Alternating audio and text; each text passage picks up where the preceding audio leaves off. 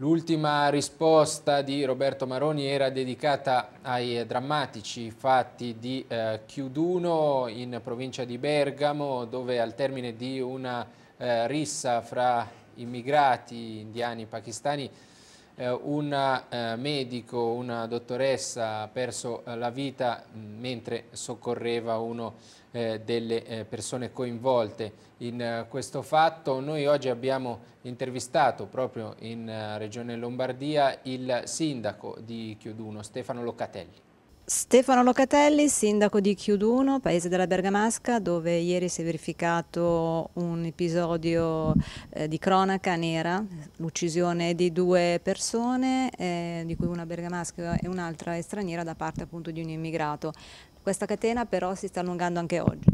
Sembrerebbe si stia allungando anche oggi. Quello che è successo a Chiuduno credo che sia uno degli atti più gravi di cui almeno io personalmente sono a conoscenza, anche per come mi è stato raccontato dai residenti della zona che sono tuttora sotto shock.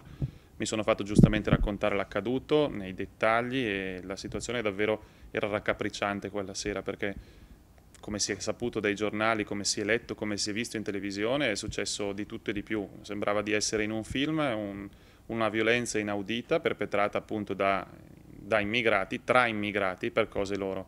La cosa che più lascia perplessi, oltre ovviamente perché dispiace anche per l'immigrato morto, ci mancherebbe altro, le vite umane sono tutte uguali, è per la dottoressa, quella dottoressa che è Eleonora Cantamessa, 44enne, residente nella zona, che si è fermata per soccorrere, come avrebbe fatto probabilmente chiunque altro, quella persona stremata a terra, visto che era da solo, è scesa dalla macchina, è, è andata a dargli una mano e quello che è successo è che i quattro che inizialmente erano fuggiti con la macchina hanno fatto inversione di marcia e, hanno, e sono rientrati per andare a catapultarsi direttamente su tutti i soccorritori che in quel momento erano accorsi appunto per vedere l'accaduto. Quello che è successo è quello che avete sentito. Ci sono due persone morte, due in gravissime condizioni all'ospedale, sei feriti.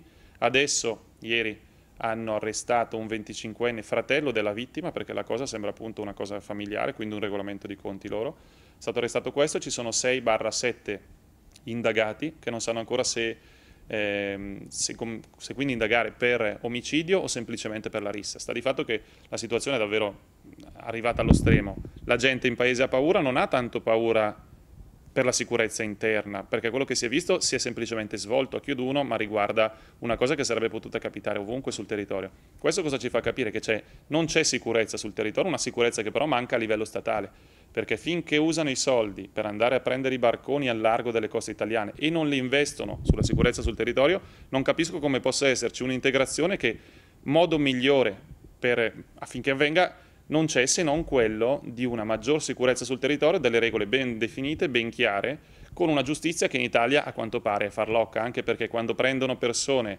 per qualunque tipo di reato, le mettono in galera anche solo 4-5 anni, poi cosa succede? Le carceri sono piene, veniamo a sapere che il 40-50% dei carcerati, adesso non ricordo i dati, sono stranieri, sono troppo piene e quindi anziché portare le persone al loro paese d'origine oppure potrebbero dire costruite altre carceri, cosa fanno? Li lasciano ancora liberi. Sanno che in Italia la giustizia è farlocca e questo è il risultato logico delle politiche portate avanti da questo governo. È ovvio anche che quando abbiamo un ministro che continua a dire che in Italia di problemi non ce ne sono, che bisogna continuare a integrarsi e per una maggiore integrazione la cosa migliore da fare è togliere, depenalizzare i reati che vediamo, quindi anche il, la, semplicemente la clandestinità che non, non, dovrebbe esistere, capiamo benissimo che di episodi del genere ce ne saranno tanti. Quello che è successo la notte scorsa, stavo guardando prima l'Eco di Bergamo, si legge di Chiuduno, si legge di questi stranieri che hanno fatto questa maxi rissa sfociata in quel che è successo. Villa d'Adda, un altro paese della zona, una ragazza che aveva sposato un marocchino ha deciso di separarsi, questo marocchino l'ha coltellata, lei è in fin di vita e lui non ho capito ancora se è morto perché si è gettato dal ponte. Stezzano, altro paese della zona, c'è stata una maxi rissa anche lì tra immigrati, tra due pakistani che sono stati accoltellati e una decina di ragazzi dallo Sri Lanka. Capiamo benissimo che se questo è il modello di integrazione che vuole portare avanti il nostro ministro, non so dove andremo a finire, o meglio, non voglio pensare a dove andremo a finire. Quindi servono più sicurezza sul territorio, quindi più soldi investiti dallo Stato per le forze dell'ordine e sicuramente un ritorno al famoso pacchetto Maroni che è stato vergognosamente secondo me abolito dai, dai, governi successivi per fare in modo che i sindaci così siano lasciati soli. Io sono da solo, sono sindaco, non posso fare niente, sono obbligato a portare avanti tutte le richieste di residenza da parte di tutti perché ormai in questo Stato italiano, tutto è concesso. Ecco, ha detto anche non è possibile più fare controlli concreti, perché? Perché non è possibile, non ce lo consente la legge, bisogna stare attenti ad ogni cosa che si fa, perché ci sono i sindacati che anche solo per, per una richiesta in più dell'ISE ti denunciano, perché ad esempio c'è la questione dell'Inps, gli assegni Inps famosi probabilmente per noi amministratori, non tanto per i telespettatori. Cos'è che succede? A tante persone hanno detto che bisogna andare in pensione più tardi perché non ci sono i soldi. Dall'altra parte continuano a dare assegni familiari, a nuclei familiari superiori a, che, che abbiano al loro interno tre minori, almeno tre minori, sappiamo benissimo chi sono questi nuclei familiari. Adesso, prima si poteva decidere se, se la famiglia era italiana oppure comunitaria. Adesso un'interpretazione nuova ha fatto sì che anche tutti gli extracomunitari regolarmente residenti sul territorio abbiano diritto a queste cose.